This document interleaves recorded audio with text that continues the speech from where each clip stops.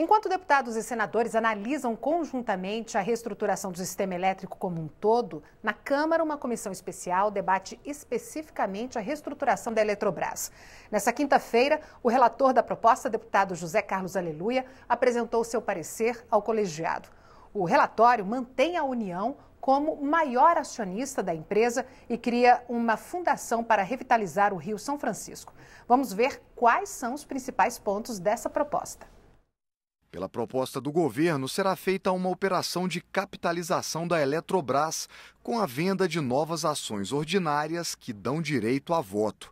Assim, a participação da União diminui e o controle da empresa é redistribuído.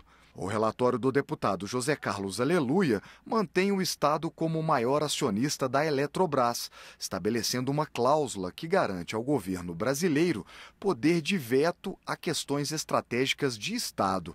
Além disso, o relatório estipula um limite de 10% do capital votante para cada grupo acionista privado. Além da capitalização, o projeto determina que cerca de 13 usinas da Eletrobras passarão a atuar como produtores independentes de energia, podendo vender livremente ao mercado. Como haverá mudança de regime, as usinas descotizadas terão que assinar novos contratos de concessão com a União, com prazo de duração de 30 anos. Em contrapartida, os novos controladores pagarão bônus à União, Parte desses recursos serão investidos em estudos de universalização do serviço de energia, que podem resultar em redução de tarifas ao consumidor. Com isso, a Eletrobras vai se recuperar, uh, o governo vai continuar acionista, o Tesouro vai, vai conseguir tirar recursos como pretende. Os recursos certamente serão maiores no modelo que fiz do que os 12 bilhões originalmente pensados.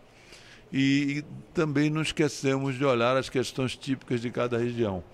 No Nordeste existe um rio da integração nacional, que nasce do Sudeste e desemboca no Nordeste, que é o São Francisco. Nós de dedicamos recursos robustos para a reposição do Rio São Francisco. Nós perpetuamos o Instituto, a chamada CEPEL, que é o Centro de Pesquisas da Eletrobras, que na proposta original iria ser extinto em quatro anos, nós transformamos em algo permanente, algo do setor, para pesquisar as tendências da energia elétrica no Brasil.